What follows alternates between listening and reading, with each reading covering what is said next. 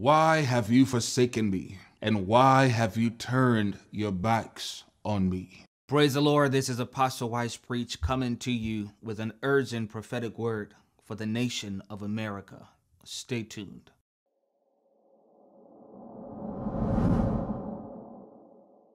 I'm calling for a 72 hour fast this coming Monday, the 11th, the 12th, the 13th, and we open up on the 14th at 6 a.m. 72 hour Esther fast. Just water, no food. This is a consecration fast, an opportunity for man to reconcile with God.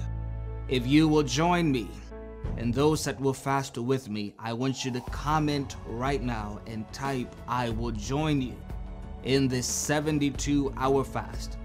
I will also post and pin in the comment section what we are to pray for and a guideline for you to follow.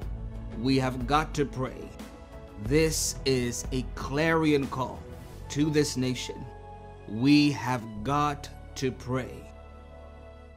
The Lord says to America, Return back to me.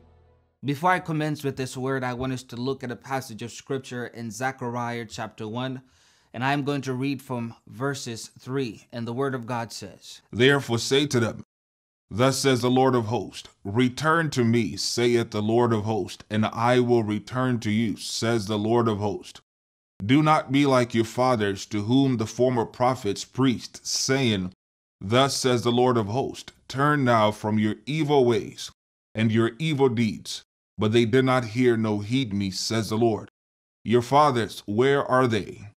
And the prophets, do they live forever? Yet surely my words and my statutes, which I commanded my servants the prophets, did they not overtake your fathers? So they returned and said, Just as the Lord of hosts determined to do to us according to our ways and according to our deeds, so he has dealt with us. The Lord is speaking to us emphatically, America, because we have broken the heart of God. And the Lord has caused this nation to become a reproach because of the wickedness, because of the lawlessness, because of the deeds we have practiced in secret. God has seen it, He has witnessed it, He has perceived it, in his sovereignty. And God is calling for this nation to turn back to him with weeping. For this year, 2021, will be a year of travail. And God is calling for people all over this nation and all over the world to turn back to Him with weeping and repentance. For the day of the Lord is coming. The day of the Lord is coming Yea, it shall come like a thief in the night. The day of the Lord is coming. Prophetically, what came to me last night as I began to meditate and ponder on the book of Esther, specifically this one character who is close to the king by the name of Haman.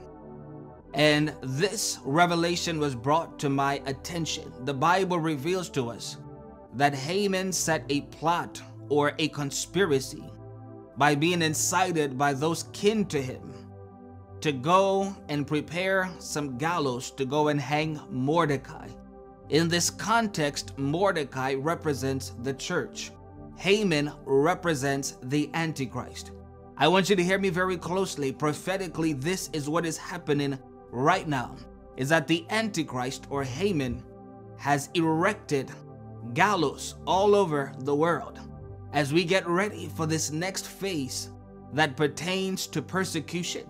And people of God, this is an hour, it's a season, and it is a time for us to draw nigh to the Father and He will draw closer to us.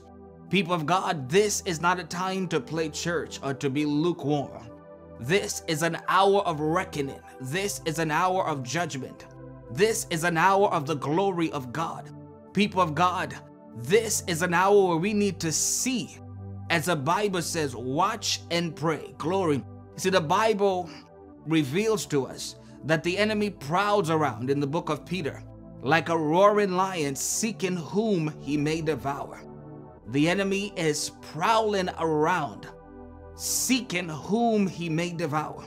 Because many people have turned their backs on God. Now, I want us to look at something else in the book of Joel, chapter 2.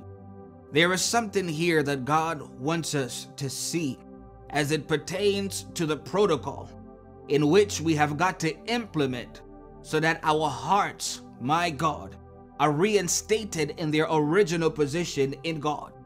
Because our security, our affirmation, you know, our identity is encapsulated in our knowledge of God.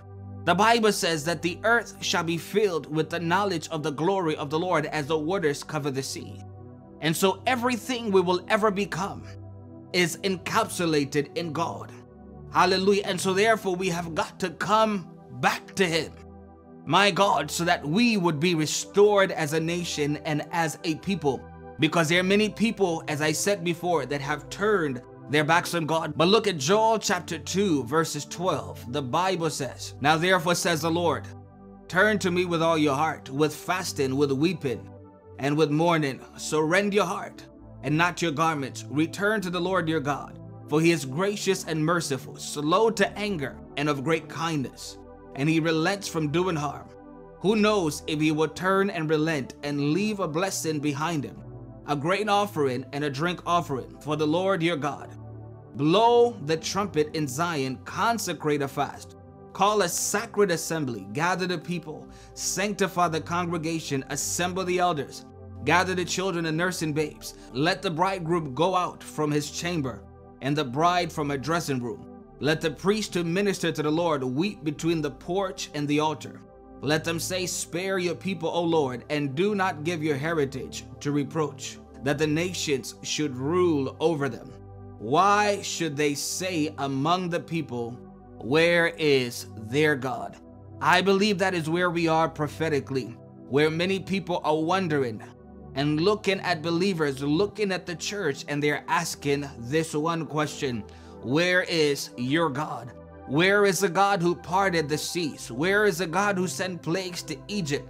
Where is the God who delivered his people? There are many people right now that are wondering, Where is your God? But there is a secret protocol to activating this dimension of grace where God reveals himself and manifests his will on the earth realm. The Bible says in Second Chronicles 7:14 that if my people which are called my people the church by my name shall humble themselves and pray, seek my face and turn from their wicked ways, then will I hear from heaven and I will forgive their sins and heal their land. Now my eyes shall be open and my ears attentive unto thy prayers that have been offered up in this place. God will only hear the prayers of the elect, his people, when we humble ourselves, pray. My God, seek his face and turn from our wicked ways. As long as wickedness continues to thrive in a nation, the nation will be given over to reproach, and that nation will be a reproach among many nations. America, God is calling for this nation to turn back to Him. My God would travail with weeping, with sackcloth. Return back to Him with your heart. Return back to Him with fasting, with mourning, with weeping, with lamentation. Return back to Him that the Lord may visit this nation. Many people have allowed themselves to fall susceptible to idolatry. You have exalted man above God. And the Bible says, Cursed is a man who puts his trust in man. People of God, this is not an hour to exalt man. God in this hour is God and he will always be God. And God says, You will have no other God before me. There is no other God besides Yahweh. He reigns and he rules by himself. He is God alone, and besides him, there is no other. For the Bible says, The Lord whose name is jealous is a jealous God. And I believe in this season we are about to see the sovereignty of God. For God in this hour is flipping the script on what a lot of people believed, their preconceived notions and ideas pertaining to what they thought God was going to do. God in this hour is about to showcase His glory, His might, and we are going to behold His majesty and His splendor. But God in this hour says to us, to you, America, to those of you that are watching across the globe, Return back to me. says the living God. This is Apostle Wise Preach, and I give God all the glory.